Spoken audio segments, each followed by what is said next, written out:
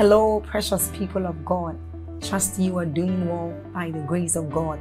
We thank God for yet another day to spend time with Him, another day to commune with Him. I want us to take a short exercise, and that is I want you to click on that like button to help spread this good news abroad. I want you to help us share this good news, and that YouTube will also recommend this channel, this video to others, and they will also be a blessing.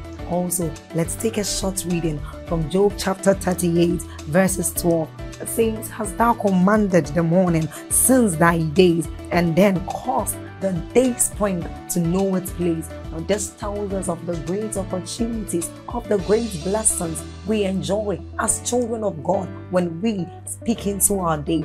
And so it is what we are about to do.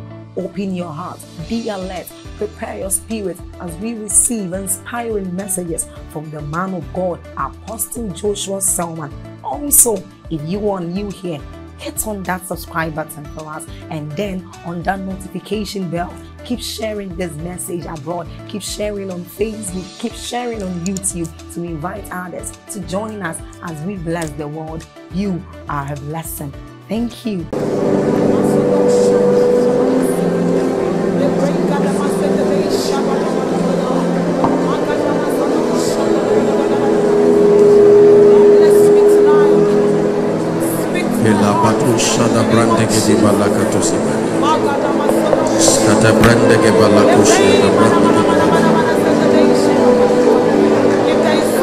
Let it be from the depth of your heart tonight. Let it be my night in the name of Jesus.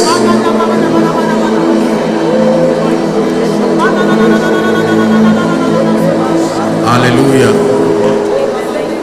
Hallelujah.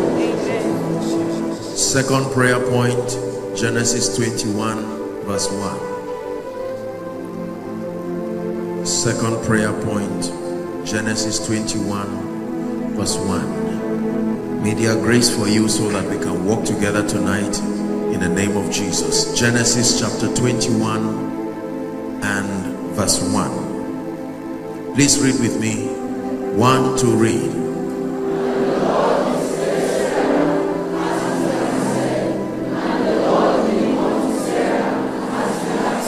One more time.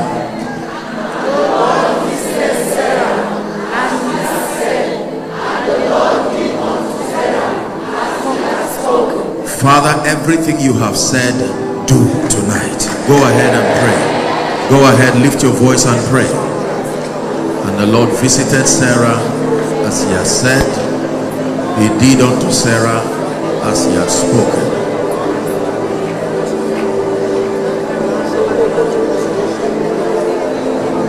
The Lord is able to save to the uttermost. He's able to heal to the uttermost.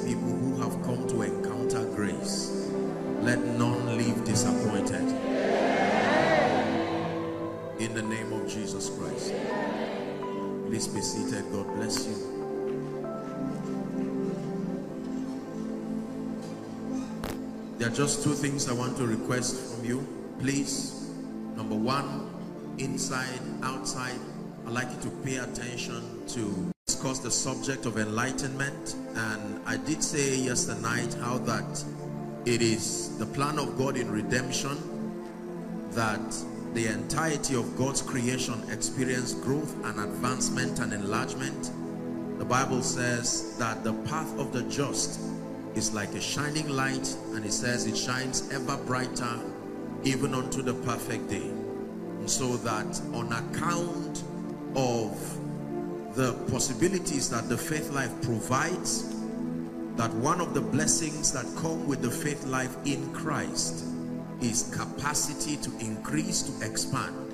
In Luke chapter 2 and verse 52, the Bible says, And Jesus increased himself in wisdom, stature, and favor with God and also with men. Hallelujah. He blessed Abraham and he spoke to him and said, I will increase you exceedingly and that kings and nations will come out of you. So it is in God's uh, dealings with men to see that we increase. He never desires that we remain at the same level of grace, the same level of influence, the same level of spiritual experience. Hallelujah. And I did tell us yesterday that even biology supports growth, that everything that is alive grows. One of the characteristic of living things is that they grow, they increase, they expand spiritually, intellectually, in stature. There is growth. No one is born an adult. Are we together? That both plants and animals are exposed to the growth system. So growth is a is one of the the blessings of being in Christ. But then I did point out to us also that there is a price. Please pay attention that enlargement and increasing in capacity in this kingdom comes with a price. It comes with a price. In fact the entire faith life and the kingdom life by extension always has conditions attached to the blessings and the promises. Deuteronomy chapter 28 for instance and verse 1 says it shall come to pass if thou shalt diligently hearken to the voice of the Lord to do and to observe all that I've commanded you that you will be exalted above all the nations of the earth and that these blessings will come upon you and overtake you. There are conditions that if and when met, they will provide a platform for growth, for increase, for our excelling in this kingdom. And we began a journey examining the price and the conditions that make for enlargement, for increase, spiritually, territorially, um, and so on and so forth. And the first that we considered for yesterday night was the price of accurate or correct perception. Jeremiah chapter 1 and verse 11. And he said unto me, Son of man, what seest thou? And he said, The rod of an almond tree. He says, Thou hast well seen, you have seen correctly. And as a result, I will hasten my word, the one you have seen to perform, not the one that I spoke, the one you saw. I will hasten it to perform it. Amplified says, I am alert and active, watching over my word to perform it. In Genesis chapter 13, we began to read the discourse when Abraham and Lot now were at a point of separation. When Lot had left Abraham and went to settle near Sodom, the Bible says that the Lord spoke to him and from where thou art, lift up your eyes northwards and southwards, eastwards and westward. It says that for as far every land that your eyes can see I told you expansion starts with your eyes, not your feet. It is what you can see. Are we together now? Very, very important. As far as your eyes can see to you, I will give as an inheritance. That our perceptions are very important. We looked at the story of the 12 spies who were sent to spy the land. 10 returned with all kinds of reports and they said, we did see that it was a good land. These are the grapes, the fruits of the land but then they confess that we are not able because the men there the anakims they are men of stature and we were like grasshoppers before them in our eyes and Caleb steal them and say no we are able to go up at once the Bible called their poor perception an evil report. Hallelujah. So how that we are unable to expand and move from where we are to the next place of prophecy and destiny if our perceptions are not based on scripture. Philippians chapter 2 and verse 5 says let this mind be in you which was also in christ jesus. Permit this mind there was a belief system that made the holy spirit rest upon jesus comfortably there was a belief system that sponsored his excelling while he walked upon the earth and the bible says to permit that same mind to be in you which was also in Christ Jesus. Are we together? And then this morning we took the second key for those who were not around that the second price that you pay for enlargement and expansion is the price of spiritual warfare. The Bible lets us know that we are not alone in this side of God's kingdom, that the whole world lieth in wickedness. It lets us know that there is a demonic system there is a satanic cadre that are out to destroy to tear everything down that looks like God. And we did examine the journey of Jesus Christ. The Bible says when the evening was come they decided to sail to the other side to go to the land of the gatherings and it was on account of their desire to move forward to expand. The Bible says there arose a storm of wind. Still remember? And I shared with us this morning that every storm is made of two elements the wind the invisible part and the water the visible part. It is the wind that empowers the water to be boisterous. So every situation that arises as a storm is made of two elements. There is a spirit component and then there is the physical expression of it that to judge things just based on the physical appearance is not a spiritual man's approach. Every wind is or every storm is made up of the union between wind and water. The one that gets to you is the water but it is the wind that empowers it. Are we together? And we said it was on account of the salvation of 10 cities that these spirits that were resident in the chief evangelists around Gadara who we call the madman the demoniac but his destiny was that of an evangelist. He was trapped by these spirits a legion of them and they began to manipulate the weather. Jesus knowing this got up and said shalom be still. And the weather was calm and they appeared at the other side and they saw this man. He was saved and as a result of his salvation 10 cities were saved. So that every battle that you face that many times the storms and the challenges that come to your life are proofs that you are making progress the only reason why they met a storm was because they were on their journey moving. If they did not take on that journey, there would be no storm. Are we together now? Praise the name of the Lord. The price of spiritual warfare, the ability to subdue the powers that be through the mystery of the blood, the mystery of the word, the mystery of the name. We considered Isaiah 49 and there it began to speak how that even the lawful captive shall be delivered. We said a lawful captive is one who there is a legal access there is a legal basis upon which the devil inflicts and oppresses them. And that for these kinds of people it is the mystery of the blood that brings them liberty. Are we together?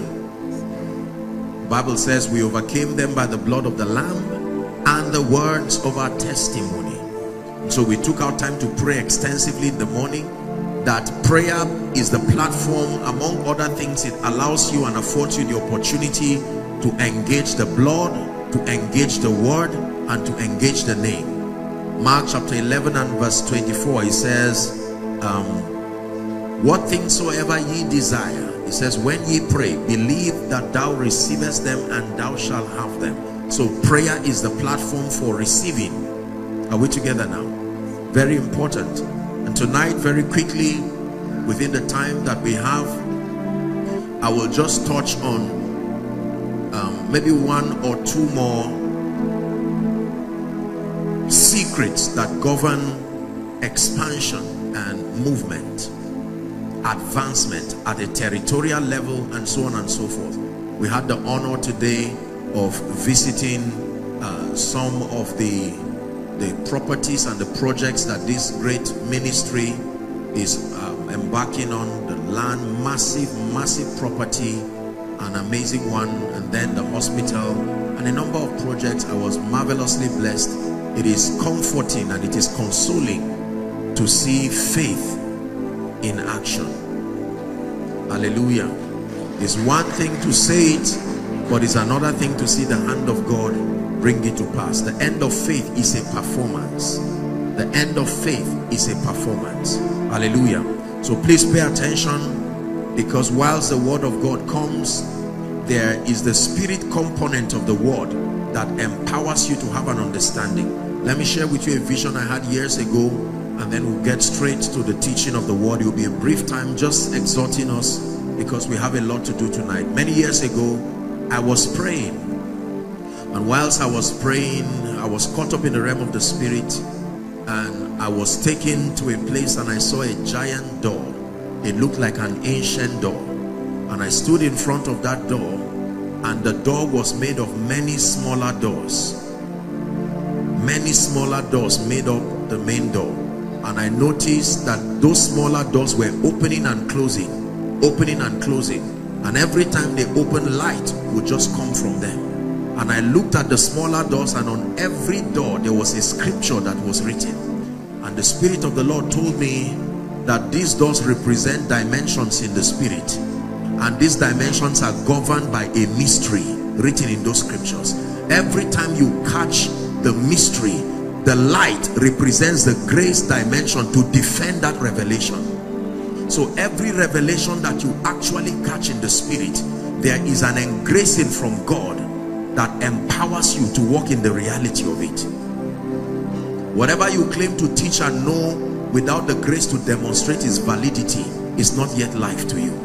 The bible says they are life to those who find them not those who are aware it is there.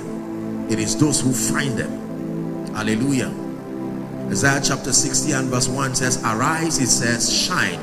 Not because you are tired of sitting. No you don't arise because of time. You arise because of light. It says arise shine for thy light is come. It's always been around but the day it comes to you that is the day you arise. And it says the glory of the lord is risen upon you. I always like to quote from amplified. It says arise from the depression and the prostration that circumstances have kept you rise to a new light that the people that sat in darkness they have seen a great light John chapter 1 and verse 5 says, The light shineth in darkness, and the darkness comprehended it not. Listen, please listen to me. Um, co-laborers in the gospel, and then the body of Christ over this territory. In this kingdom, we excel on the strength of superior spiritual knowledge, illumination that we have. Dominion is not an impartation. Dominion is the resultant effect of comprehending the mysteries of the kingdom. Our ability to understand the ways of God. Just because eternal life or the faith life provides access to a life of victory and grace does not mean you will just walk in it arbitrarily. It takes knowledge. Ephesians chapter 4 and verse 18 Paul was lamenting while mentoring the church in Ephesus and he says having their understanding darkened he says being alienated from the life of God through the ignorance that is in them. Spiritual ignorance is able to make a man though saved not able to walk into the fullness of that which was purchased for in Christ. He says an heir as long as he's a child that he differeth not from a slave even though he be lord of all. And so before I begin to speak to you I'm, I'm hoping that the Holy Spirit will use this introduction to plant in you a passion for superior spiritual knowledge. You do not have anything to say if you are not grounded and rooted in the word. You see the word of god defines the boundary of god's commitment to the believer. God cannot be committed to the believer outside of the provision that scripture allows. So the more you are sound in doctrine thoroughly furnished in the word you sustain the tools to produce victory. Hallelujah.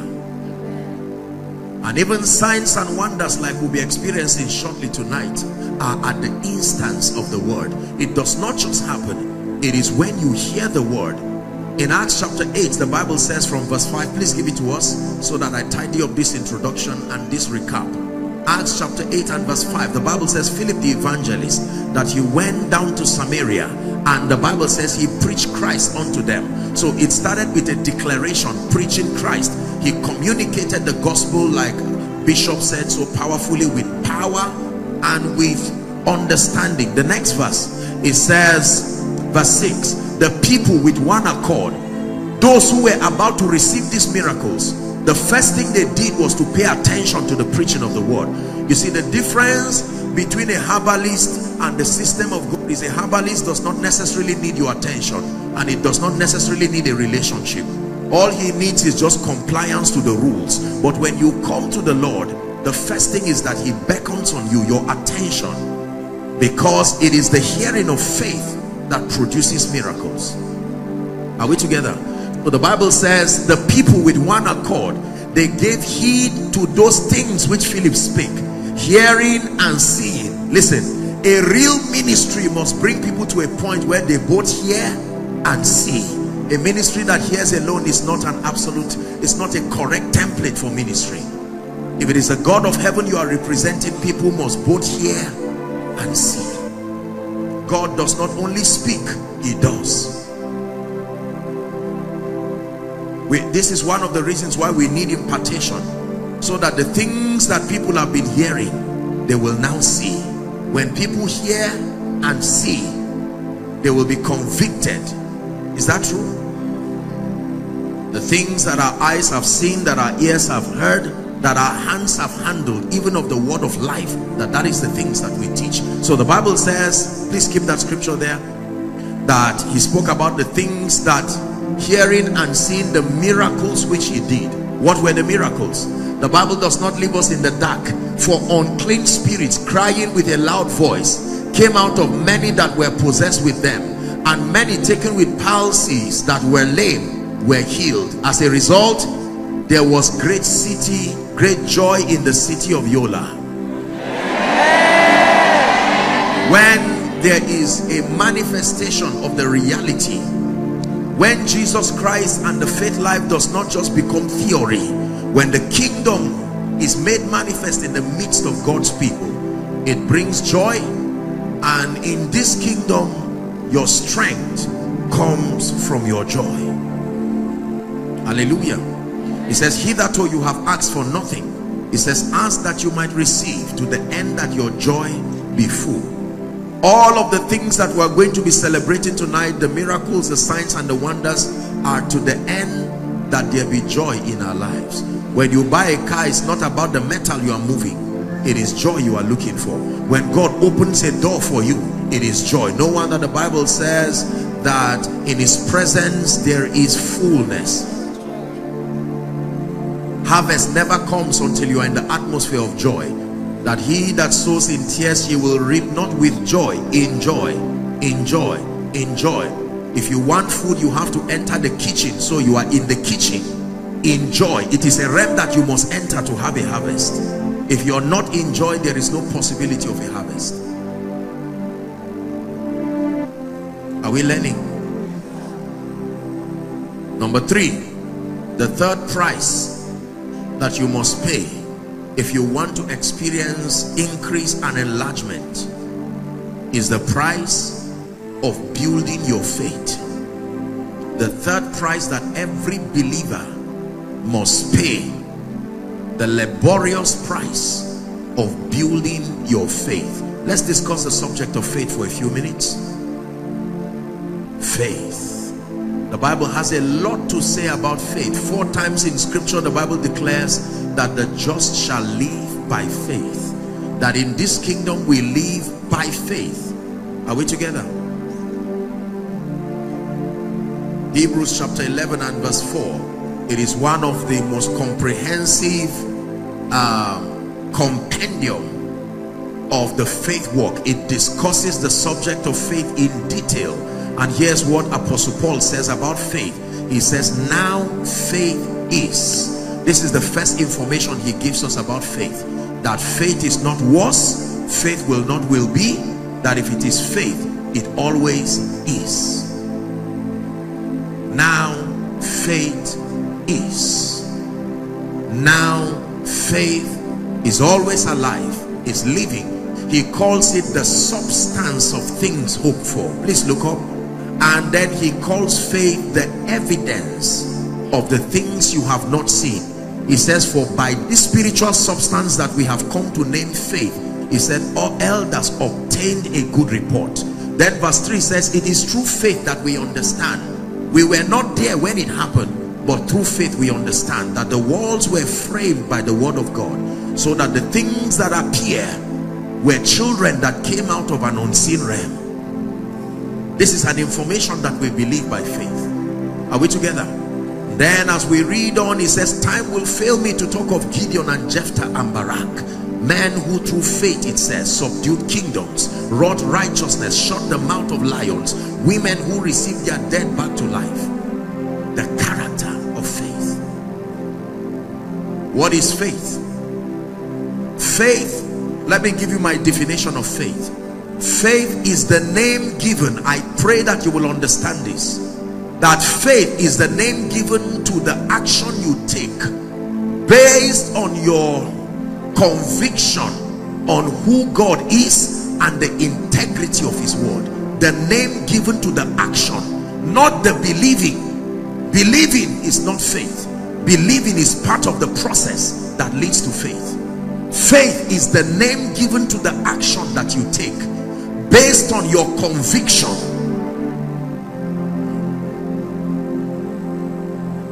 based on your conviction. Everywhere you see the bible mention faith in scripture is predicated upon your conviction. Persuasion. Something god has said that you believe. And then the end of your believing is that you know the participatory condition that supports actualizing that promise. You see the bible please let's discuss doctrine for a few minutes. The bible basically contains three things. Number one the bible contains promises. Please write it down. The bible essentially contains promises number one. Then the bible contains principles number two. God's modus operandi, his system of operation. They are hidden in mysteries, the principles of the kingdom. And then number three, the Bible contains prophecies. So every time you open your Bible, you are like a spiritual archaeologist exploring promises, principles, and prophecies. Promises represents the commitment of God to you principles represent the modus operandi of the kingdom the system by which we obtain results matthew chapter 13 and verse 11 jesus was teaching while he walked upon the earth. And the bible says when he called his disciples privately explaining these parables to them he said because it has been given unto you to know the mysteries of the kingdom. Everyone say mysteries. The mysteries of the kingdom represent a body of truth that are hidden only to those who are in the kingdom. A mystery is a hidden code of operation. Are we together the dss or the military people they have hidden codes of operation. They have words that they use. You have to be in that fold to understand what they are saying. They are called mysteries. You can come to a house and a husband and a wife they have hidden codes of communication in that house. If you are a visitor and you are not part of that family you may not understand. In this kingdom we excel on the strength of the mysteries that we know So anyone who is not part of the fold may not understand why we do the things that we do. For instance, that to rise in this kingdom financially among the many other principles the bible says there is he that scattereth and yet increaseth. Is a mystery. It does not make sense until you are in the kingdom. Why will you be in the kingdom and have challenges before you and then you begin to dance and sing praises? No what you do physically is to call the police and get lawyers and begin to cry. But in the kingdom you are dancing and celebrating because it is a mystery. It says i will call upon the lord who is worthy of praise. By this formula prayer and praise shall i be saved from my enemies. So every time you are overwhelmed you introduce this mystery the mystery of prayer the mystery of praise. That's what happened at midnight when paul and silas when they were overwhelmed it is a law not a psalm. It was a spiritual law that was hidden in the psalm that every time you are in trouble and you are overwhelmed call upon the Lord prayer and then praise. The union of prayer and praise always produces deliverance. Are we together now? Just knowing this alone will grant you grace to continue to triumph over situations that would have kept you down when we say you are matured in this kingdom spiritual growth is not measured by longevity in church. No not necessarily. You can be there for a long time and yet not grow. There are two biblical indices that are used to measure spiritual growth. Number one the degree to which the character of the christ is formed in you in experience. That is the first biblical index that shows that you are growing it says my little children of whom i travail until christ be formed in you. The formation of christ the character of christ and that the character of christ is formed through a process that we call transformation. Transformation the name given to the process that makes you become like Christ in experience. The second biblical index for measuring spiritual maturity is your depth of comprehension of the ways of God you are mature to the degree to which you are able to handle the word of life effectively like the sword like a veteran in the army able to use the sword. All of these spiritual arsenals the shield of faith the sword of the spirit which is the word of God that with it you are able to quench all the fiery darts of the devil. Are we still together? Just a digression to put things in perspective so faith is based on two qualities of God. Please listen carefully. Let's go to scripture. There are two qualities of God that Bible faith is based on. If it is Bible faith two qualities of God. The first quality is found in Numbers chapter 23 and verse 19 there are two spiritual qualities of God that produce Bible faith in the believer. Number one is called his integrity. Everyone please read what is projected. Numbers 23 and verse 19 let's read in concert. One to read. Stop. Stop. Stop. This is a very important information. God is not a man. Say it after me please. God is not a man he became a man but he is not a man. If you say god is a man he must worship who created him. So god is not a man. He only became a man so that he can save men. But God is not a man. And he tells you that all men have the tendency of two things. Number one lies. That men lie. They don't lie because they are bad. They lie because they are men now listen listen listen listen. God is not a man that he should lie. This weakness is not found in him. And then nor the son of man that he should repent. So he's giving you an assurance that the one you are dealing with does not have this limitation. God is not a man. It's called integrity integrity comes from the word integer sameness as within so without that God possesses that quality of dependability please write it down the first quality of God that the true Bible faith is hinged on is his integrity. Integrity. This is not something that is easily achievable in the world of men. Integrity is hard. Ask any sincere person.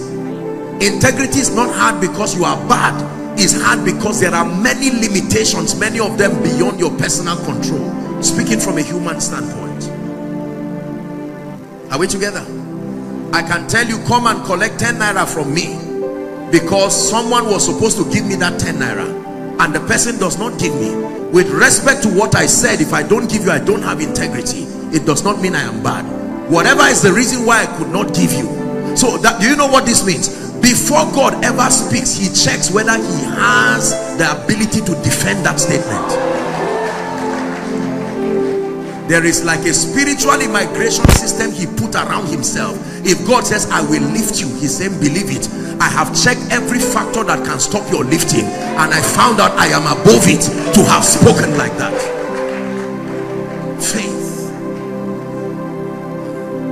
faith is based on the integrity of god. The second factor we have to rush. I wish that we had all the time would have done an extensive teaching on faith because many believers do not know what faith is now. It's the reason why few believers have consistent results. The second quality of God upon which Bible faith is based on is found in Ephesians chapter 3 and verse 20 please give it to us Ephesians chapter 3 and verse 20 his ability Bible faith is based on God's integrity and God's ability. Please, Yola, help me repeat. God's integrity and God's ability. One more time. God's integrity and God's ability. Ephesians 3.20 Now unto him who is able. He tells you straight up that God is able. So do not doubt. There are many people who have integrity but they don't have ability. integrity is the sincerity and the willingness to make true your commitment but do you have the ability if i have money i will bless you but you do not have the ability god has both the heart and the wherewithal so you will see jesus walking the express image of god. He will say i will be thou cleansed. I have both the integrity and i have the ability. It will be dangerous if the only thing god has is integrity. We'll still be in trouble. Because you will say many true things but they will not come to pass. Are we blessed? Ability. Now unto him who is the him god. And the bible says he is able not just to say there are people who are able to say but they are not able to do. God is able to do. Now it is the doing part that surprises me. That he is able to do above all. Look at the one you are dealing with here. Above all that we ask. I understand asking but he now says above all that we think. Hold on. Do you know how powerful the mind is? Go and ask nimrod cush genesis 11 there was no holy spirit there was no satan. There was a healthy mind and they built a city that took only god to stop. And god is saying now you have a mind empowered by the holy ghost. And God is saying still dare me. I am still able. Listen this is the reason why you can stand and look at an empty land and yet see a construction there. This is the reason why you can watch a sick body they are telling you that this person is dying of HIV and cancer and you can dare to say within it a moment it is not your ability. You don't have that kind of power in yourself. The assignment of a true preacher is to bring situations face to face with this God and step back. That's your assignment. Master the art of bringing challenges face to face with God and step back. And you watch the wonder working power this was the audacity that David had before Goliath Goliath said am I a dog Israel is this the best you can do I know I will kill you but respect me I'm a veteran of war and David said, you don't know me. You come to me with your bows, but I come with a covenant. I'm about to step back and leave you with that covenant. This is faith. You want to subdue kingdoms? It is not just by talking carelessly. Most believers keep saying, Oh, I will get this. Uh -uh. Your confession is only profitable if the law is that it starts from your heart first before your mouth. You have to settle this. For with the heart, man believes unto righteousness. I'm shaking away unbelief because some of you are here seated with all kinds of sicknesses. Some of you are here ministry is small and yet you see when God talks to you he talks like he's talking to himself. You know that it is God speaking to you because you do not have the power to do what he's saying. The moment God talks to you and it is possible it's not God you heard that's a demon talking to you. God talks to men like he's talking to himself because it is only his power that can make happen what he says Please sit down. This is just an exhortation so that we can minister. Faith, the integrity of God and his ability. Now listen, you have to be convinced. Hebrews chapter 11 verse 6. It gives us a law if we want to see a performance in our lives and you must subscribe to this law. It says, for without faith, that means outside of a realm of faith, it is impossible to please him. Why? For everyone who comes to God, before you arrive there, convince yourself first that he exists. He is means he exists. And then number two, there is a name God is called that few people know. He's called a rewarder. A rewarder is not what he does, is who he is. God is a rewarder of them that diligently seek him. Are we blessed? Hmm. Faith. Faith. Time will fail me to talk of all the patriarchs. When God called Abraham as a single man, he told him, carry your wife, go to a land that I will show you. And he began to move with a few people there. Came out of Ur of the Chaldeans. By the end of the story, he is a father of nations. God spoke and he believed. Took him a long time to believe but finally he did. And the Bible says it was credited unto him for righteousness. And Galatians chapter 3 and verse 29 says and if ye be Christ's then are ye Abraham's seed and heirs according to the promise. But if said if you are the children of Abraham you will do the works of Abraham. That means you will not only claim Abraham's blessings you will have Abraham's convictions if you do not have Abraham's convictions you will not get Abraham's blessings. Hmm. can I tell you this? There are many dimensions to faith but one of the dimensions that must always be expressed in your life if you are you're a man of faith is land. There is a relationship between faith and land. Somewhere in the equation of your faith you will always be given grace and authority for territory are we blessed? Hear me. Many of us are too scientific to be used by God. You calculate everything. How shall these things be, seeing that I know not a man? Mary said. How will one plus one become ten? Anything plus God in it is the answer he gives. Anything. One plus one is two. You are right but one plus one plus God equals to the answer he chooses. Any answer once you put God in an equation the calculation changes completely. I'm saying this so that you can believe God. Listen faith is not just what saying is not saying what God has said alone. It is also doing what he has said Bible faith always leaves you with a responsibility a participatory responsibility. If you do not find your participatory responsibility as far as actualizing any promise is concerned it will never come to pass. There is always something to do. Deuteronomy chapter 28 from verse 1 and 2 write it for reference. That it shall come to pass if thou shalt diligently hearken to the voice of the Lord to do and observe all that I command you this day then it says you will be exalted above all the nations of the earth and that these blessings will come upon you and overtake you. There is always something to do. Joshua chapter 1 and verse 8 Moses ad, I mean uh, God admonishing Moses now after Joshua after Moses died. He says this book of the law shall not depart from out of your mouth but thou shalt meditate therein day and night that thou mayest observe to do observe to do observe to do observe to do all not some observe to do all that is written therein. Then and only then shall thou make thy ways prosperous and that you will have good success. Hallelujah.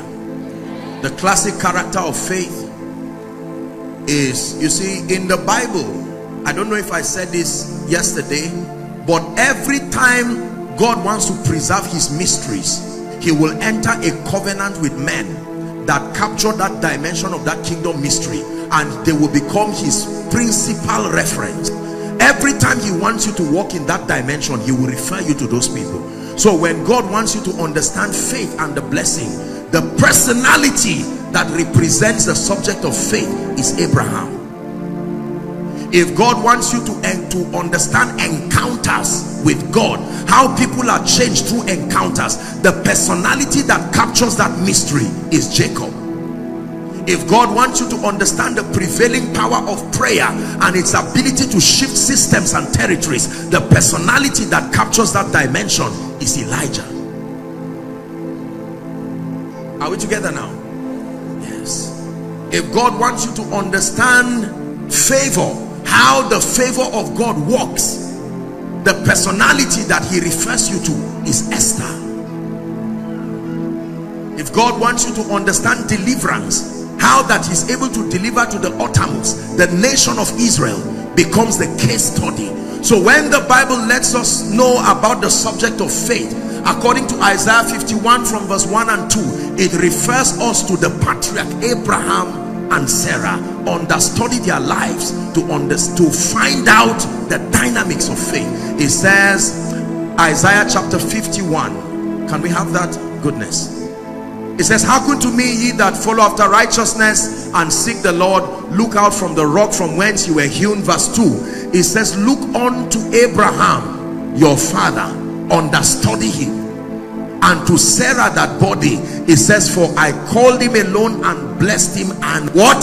Increased him. So you want enlargement through faith? There is a patriarch. The bible mandates that we follow them who through faith and patience have obtained. Can i tell you what is a dream for you now is someone's reality. And the bible says follow them. There is something don't follow anybody if you do not find faith in the equation of the achievement if you do not find faith if they did not have to believe god somewhere run away he says. Follow only those who you see their promise obtained through faith and patience. Are we learning something tonight? You must believe in God. Hmm. Blessed is she that believes the Bible says. For unto her there shall be a performance of those things spoken. Blessed is she that believes blessed is she that believes. Do you know the Bible says when you read John chapter 20 the last verse I believe it says many other miracles Jesus did in the presence of his disciples that were not recorded in this book. It says but this was written that you might believe and that in believing you will find life eternal. He wants us to believe. Listen to me this bible you see from genesis to revelation it's a manifesto of god's integrity. He dares you. He says look at it. Choose any verse and any scripture and see how faithful i have been so that you can believe me. You are not the first to be in a situation down. Ask esther i can pick women from a village to the palace. Ask israel i can pick them from egypt.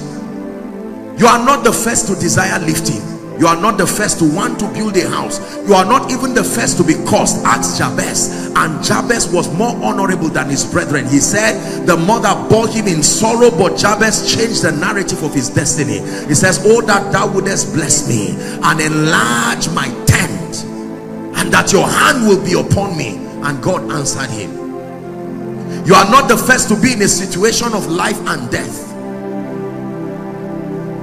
our nation and our territory is not the first to go through economic turmoil.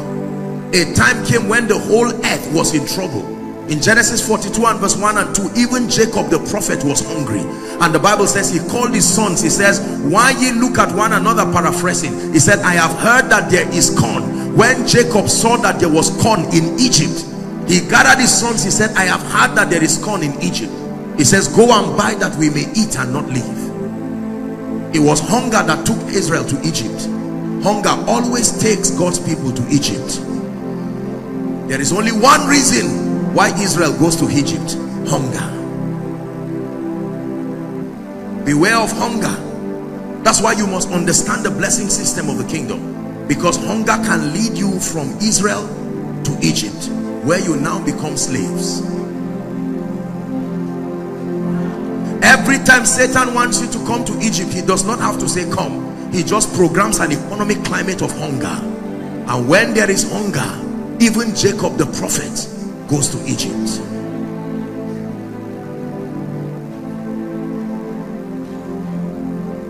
Are we learning something tonight? Faith. I believe God and the Bible says the righteousness that is of faith speaks on this wise. So faith is not silent. If it is true faith, there is an equation. It first starts with conviction, not confession. Confession comes from the word homologeo. That means repeat as you have heard. It is the confession without conviction is just a mockery of oneself. I will rise, I will rise, I will rise. Uh -uh. Your heart must be settled first. It is from the abundance of the heart the mouth speaks the mouth does not speak for the heart to know. No meditation is how the heart receives. When the heart now receives from the strength of meditation the mouth will speak. Are we together? Listen to me.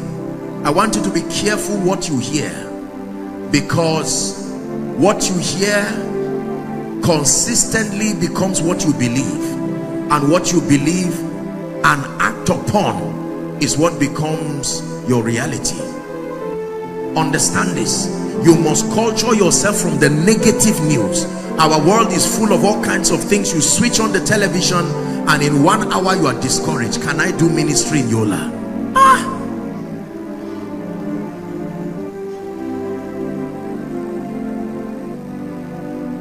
But i believe. I believe. Jesus i believe. I believe in miracles I believe in Jesus. I believe in signs and wonders. I believe in increase. I believe in multiplication. I believe.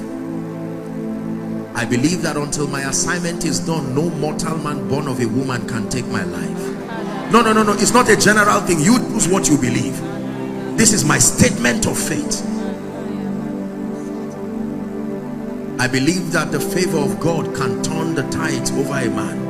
I believe you can create your own spiritual climate like Goshen was in Egypt. That even though there be darkness, you can dwell in a realm of unapproachable light. This is what I believe. I have searched from scripture and I have found out that God can be trusted. He is not a man. Servants of the living God, let us get back to the authority of scripture. Don't just believe because a man you love said it. You must go to the word of God. The woman the prostitute at the well when she met Jesus Christ after having a discussion with him and perceiving he was a prophet she began to bring the issues of worship. And when Jesus gave her a new orientation the Bible says she ran and called people come see a man that told me what I have done they did not come because they believed in Jesus. They came because they were surprised at her transformation. But when they came they met Jesus themselves. And after that encounter here was their testimony. We now believe. Not because you said it. Your testimony was only an usher that led us to now have an encounter for ourselves. Believers it is good to believe the God of your pastor. Only if he, he will eventually become your God. Because it is your God that will produce your miracle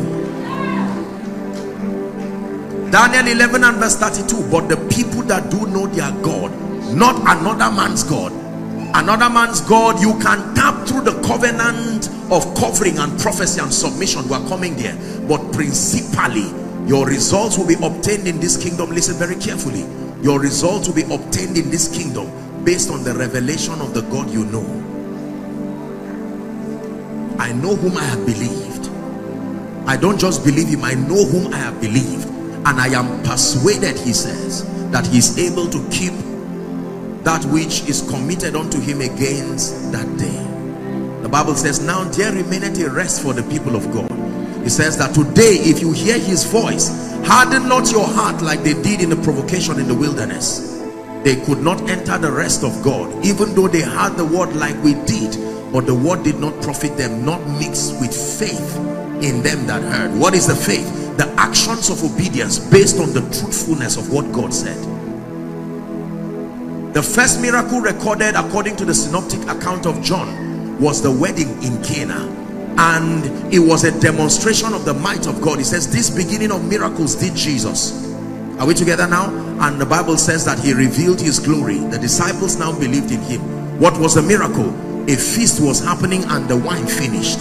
When the wine finished, there was going to be an embarrassment on the couple. And then a few people found Jesus. And Mary said, whatsoever he says to do, do it. It may not make sense, but do it. And he said, fix fill six vessels with water fetch that water and start moving to the ruler you know in those days rulers were cruel people. Any embarrassment will cost you your life immediately. There was no counseling there was no advice. You would die immediately. Why would you fetch water and be on your way to go and give a ruler? Prove that you trust me that much that God is not a man. Prove that you believe me that much. So God tells you it's time to have a church. And with one thousand naira in your account you ask your friend and you fuel his car and you say let's drive down Adamawa God spoke that it's time for us to establish that building. And while you are doing that your senses is saying you must be crazy. And you say no no no it's not my fault. I'm not the one who will fund it. I'm only a steward. The Bible says moreover it is required in stewards that a man be found faithful. My assignment is to use my obedience and bring that situation face to face with the God of the Bible. Listen the exploits of faith in this kingdom is based on the simple obedience. Within a few minutes we are going to be celebrating the hand of God and the move of God. And every one miracle every one sign and wonder restoration your requests that have been written here many of you will be surprised to see the way doors open. It will be as though you were given a charm in this conference. You see? Just like that.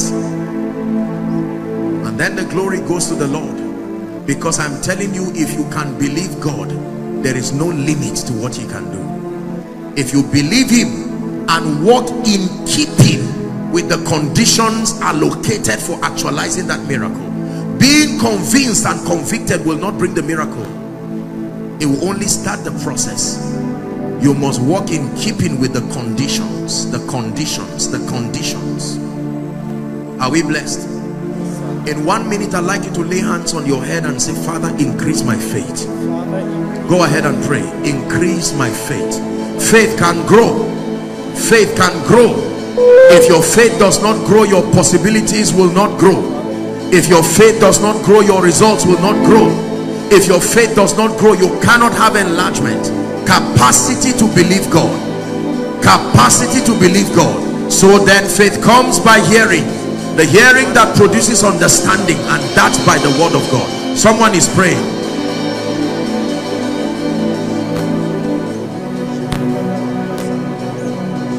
Hallelujah. Praise the Lord. Thank you. So price number one that you have to pay is the price of accurate perception. Your belief systems and your spiritual orientation must be consistent with the word of God. Price number two warfare. There are powers that be that stop the advancement of God's people. He was talking to the church in Thessalonica. I desire even I to come to you once and again but Satan hindered us. And so we pray and clear the spiritual highway. Number three is the price to build your faith. Bible faith always produces results. And the fourth price that you must pray you must pay the fourth price if you want enlargement is called the price of prophetic alignment. Write it down. Hmm. someone's life is going to change now. The price of prophetic alignment. Ah. I'm praying for you that what I'm about to share listen to me. If you catch this revelation many of you will begin to run like Elijah that within a space of your life will so change. Believe me. Please pray in the spirit in one minute if you can. Go ahead and pray. Go ahead and pray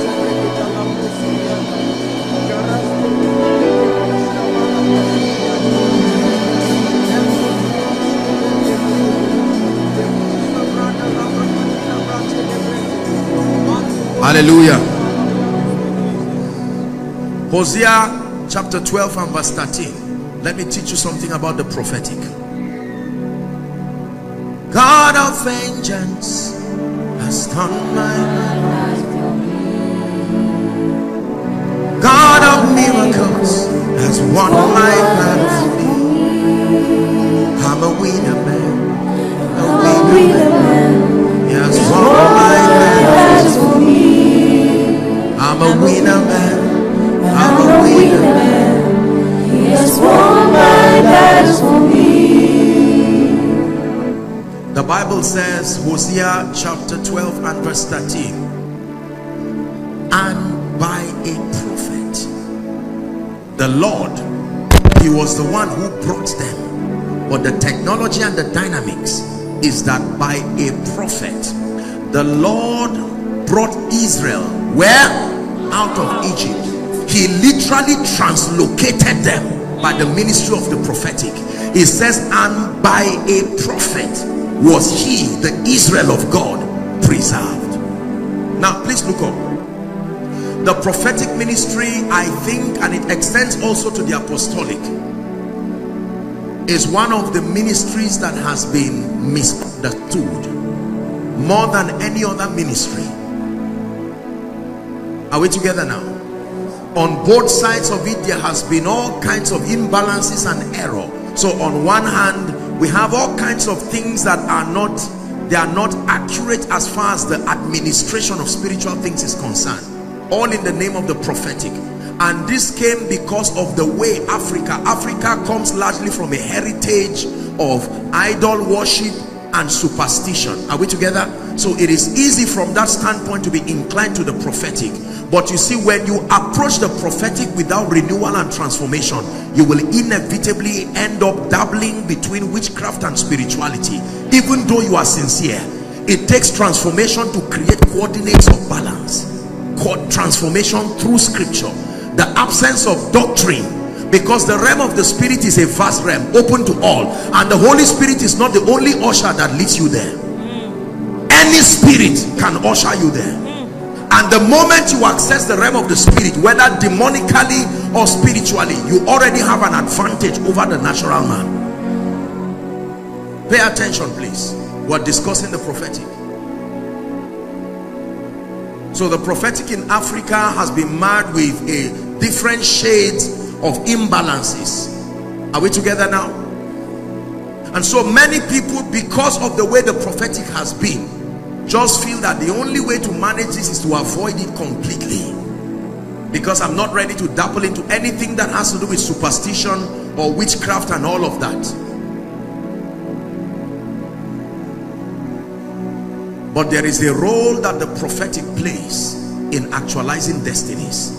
There is nobody please listen to me. I'm sharing with you a deep mystery now.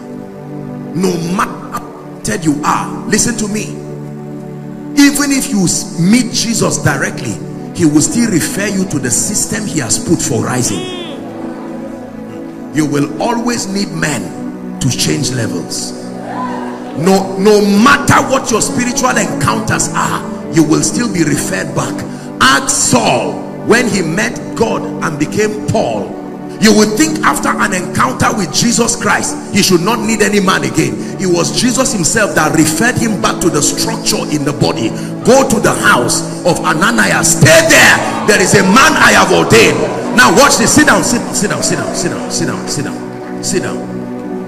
When Jesus came the word of God his heavens were closed for 30 years. Jesus your Jesus walked under a closed heaven for 30 years until he met a strange prophet called John your Jesus as anointed as he is the Holy Ghost did not come upon him and the father never called him son until he met a man.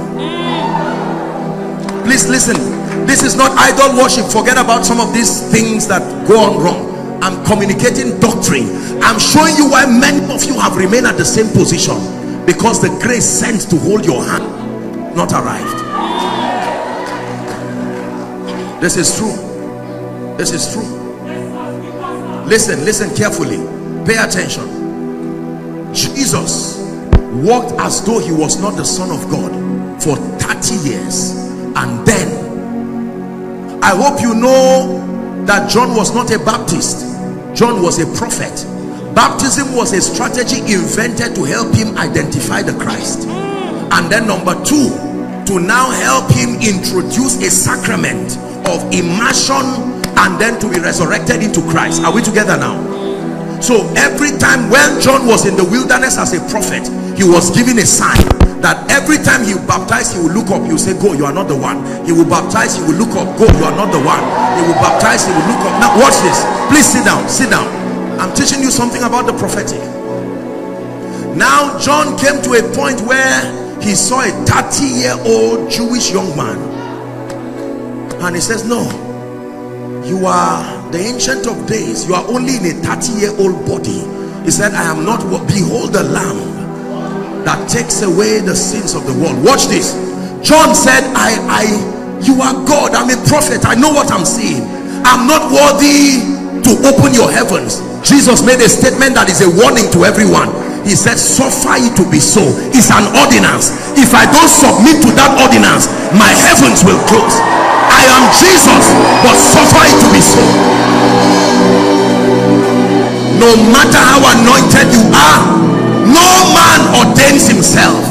No man honors himself. You can respect yourself, but you cannot honor yourself. Honor has to be conferred by another. Please sit down. Sit down. Fire is burning in this place now. Pay attention, please. About to introduce something that if you understand for many of you this is the answer to the age-long prayer. Lord why is it that I cannot shift? There is a law you have been breaking sincerely so. Look up please. The heaven you are going to that you so look forward to go and read how heaven was constructed. Heaven was constructed with the names of 12 apostles of the lamb as the foundation the bible says this is how the church was built. Look at the architecture of the church. Paul was given the privilege of seeing the architecture of the church. Pay attention. He said in the building of the church the first person you meet is christ. He's called the chief cornerstone. The moment you meet christ there are two strange ministries you must meet to rise the apostolic and the prophetic. He calls them the foundation. Listen carefully I don't mean the apostolic and the prophetic by name.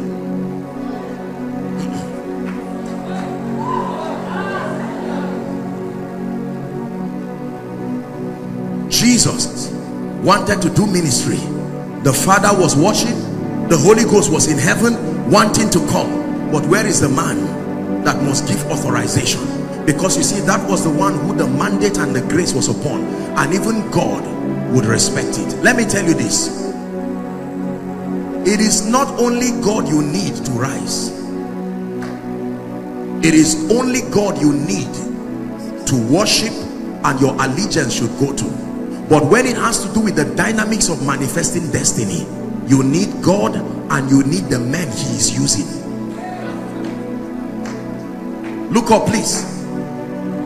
When the oil finished in the parable it says go to them that sell. Not everybody is looking for oil there are those who have it already and I showed you yesterday how they got it remember all those who have oil to sell You want to know how they got it? Go to Second Kings chapter 4. Once upon a time, their oil was in a small cruse They didn't know what to do. It was the prophetic they encountered that multiplied their oil, that they now have enough to sell to others. Are we together? Thank you. So Jesus, okay, help us with the sound. Jesus comes to John and John says Jesus says suffer it to be so. Watch this. He dips John in water. He brings John out and your Bible the one you have on your hand now says and the heavens opened. Over Jesus did he need the heavens open to do ministry watch this.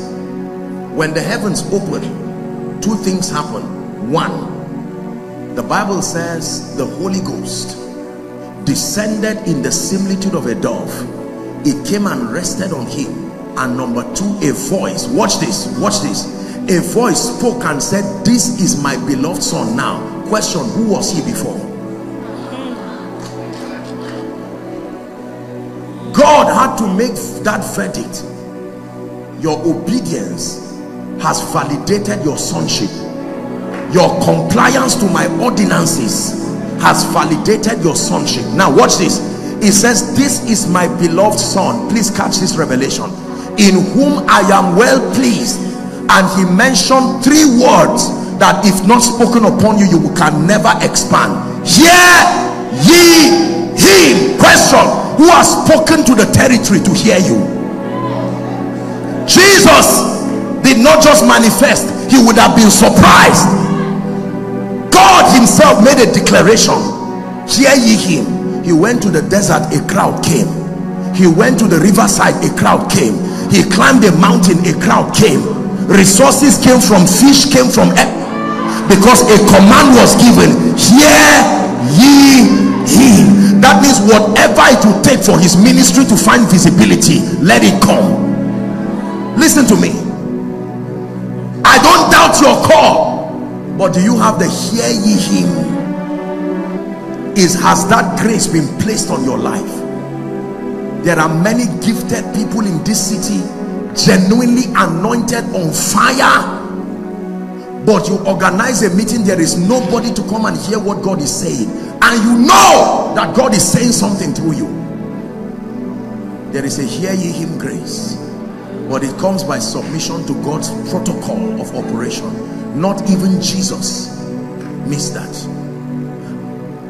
Are we together now? Abraham was at a point in his life where it seemed like nothing will happen except prophecy. And he returned from war and he met a strange king of an ancient city called Salem called Melchizedek. Watch this. Abraham honored him and here was what Melchizedek said blessed be Abraham son of the most high i make you possessor of the heavens and the earth. Watch this.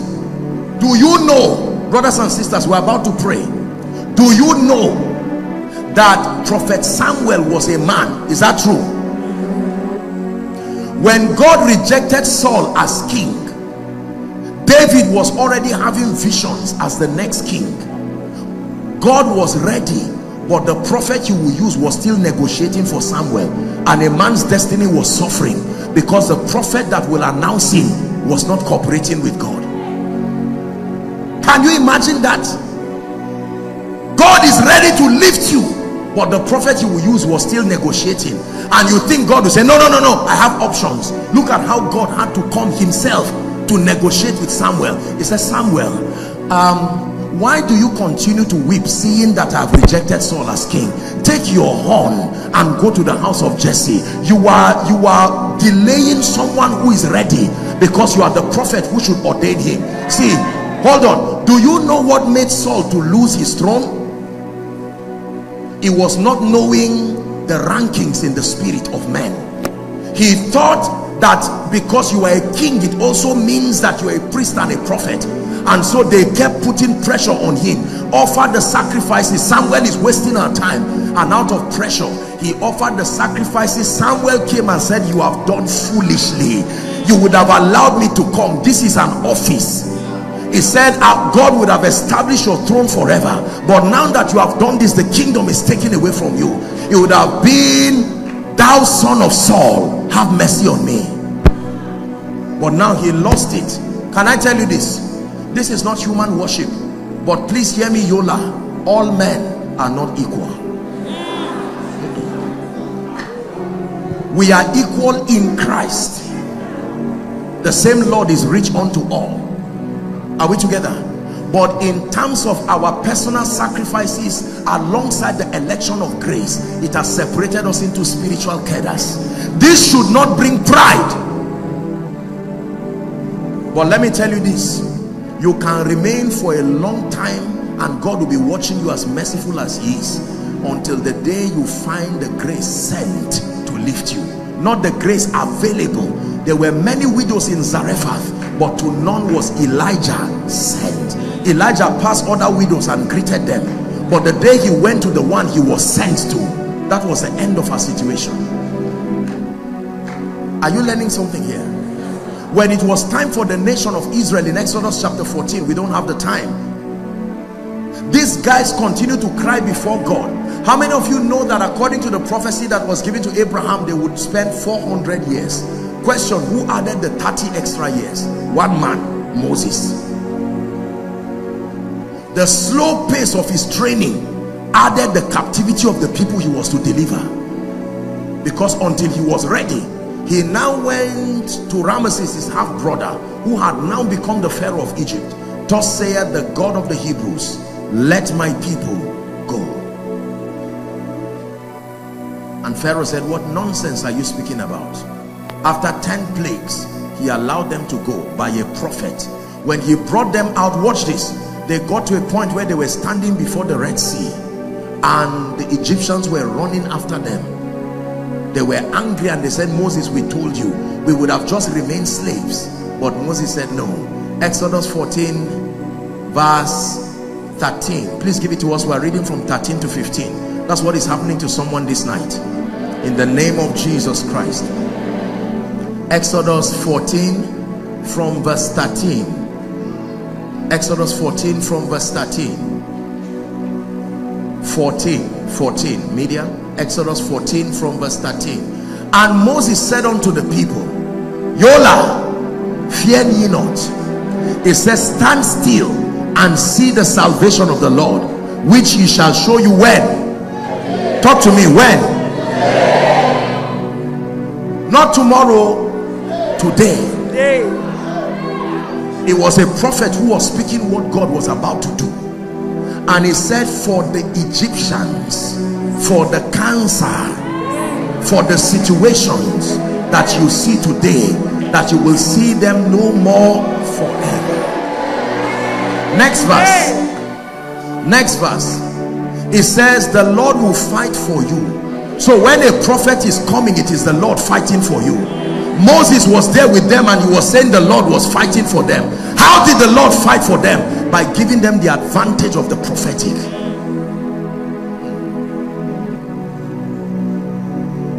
Are we learning something?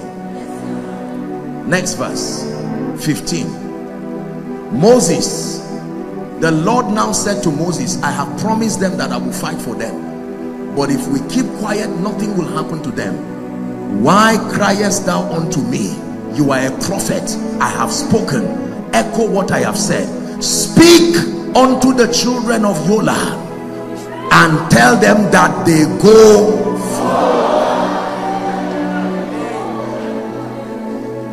speak unto them that they go last scripture. Acts i mean second kings chapter 6 verse 1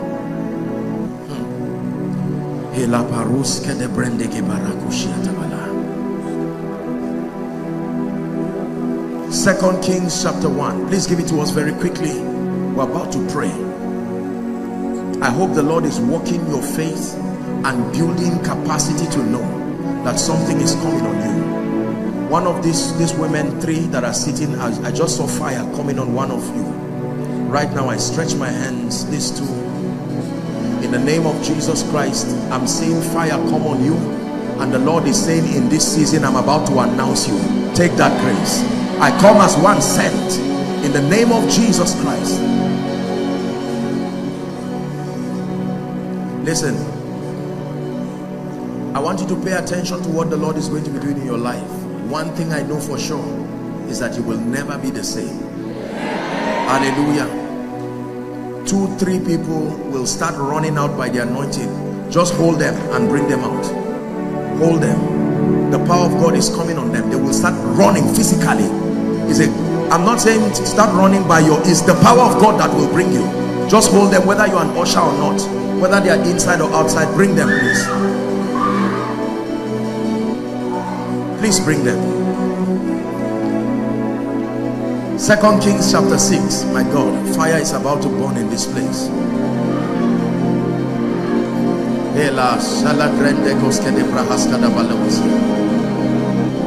No don't bring them out. Not these ones. Not these ones. The instructions is those running by the spirit. Just bring them out.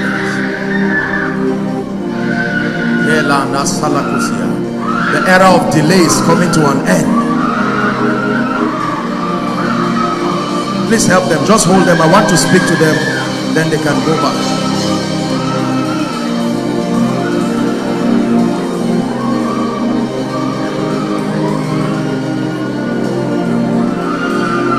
Hiya, hiya, yeah,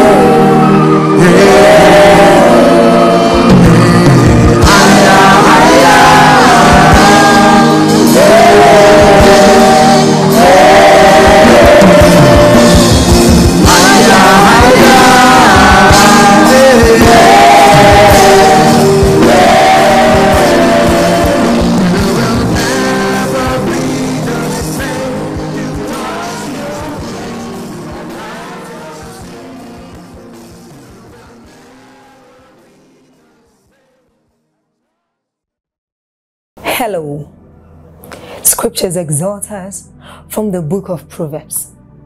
It says, My son, attend to my sayings, incline thy ears to my words. Let them not depart from thy eyes, and keep them in the midst of thee. As you have listened to this message, we believe that you are going to reap the blessings thereof if you attend to these words as well. That you will keep these words in the midst of your heart. That no matter the circumstance, your eyes are going to be fixed on these words. And as you have been blessed, we will tell you to share this message. Be an evangelist by sharing to others to be blessed. And then subscribe to this channel for us because we have loads of videos, we have loads of content that is going to make you blessed, that is going to set you on course, that is going to set you ablaze. And don't forget to like for us. Thank you.